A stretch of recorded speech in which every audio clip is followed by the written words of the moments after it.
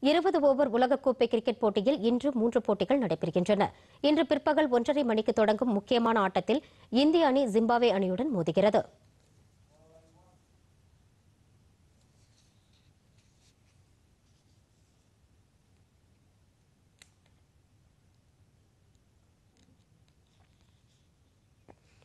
அடிலேடில் இன்று காலை தொடங்கி நடைபெற்று வரும் முதல் ஆட்டத்தில் தென்னாப்பிரிக்க அணி வெற்றி பெற நூற்றி ஐம்பத்தி ஒன்பது ரன் என்ற இலக்கை நெதர்லாந்து அணி நிர்ணயித்துள்ளது. டாஸ் வென்ற தென்னாப்பிரிக்க அணி முதலில் பந்து வீச்சை தேர்வு செய்தது.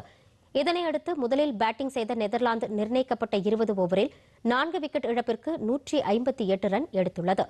நூற்றி ஐம்பத்தி ஒன்பது ரன் எடுத்தால் வெற்றி என்ற இலக்குடன் தற்போது விளையாடி வரும் தென்னாப்பிரிக்க அணி சற்று முன்வரை நான்கு விக்கெட் இழப்பிற்கு நூற்றி பதினோரு ரன் எடுத்துள்ளது.